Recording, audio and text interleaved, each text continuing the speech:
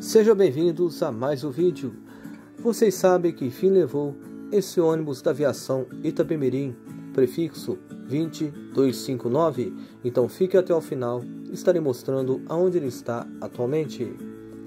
Ele é um Tecnobus Tribus 3, ano 1991, está sobre o chassi Itapemirim.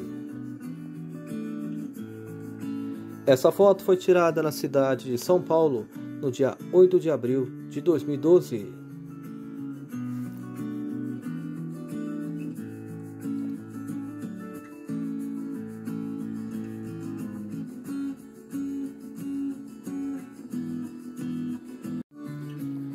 Depois de muitos anos na aviação Itapemirim, ele foi vendido e está atualmente como ônibus particular Repare que esse ônibus está escrito atrás Batibus Duda.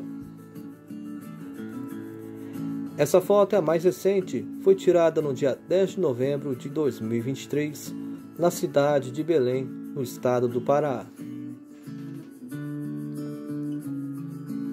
Felizmente, esse ônibus está rodando até hoje e está até conservado pelo seu ano de fabricação, considerando que esse ônibus tem mais de 30 anos de uso. Gostaram do vídeo? Então já deixe seu joinha, compartilhe esse vídeo, deixe aqui embaixo o seu comentário. Muito obrigado a todos vocês, fiquem com Deus e até o próximo vídeo.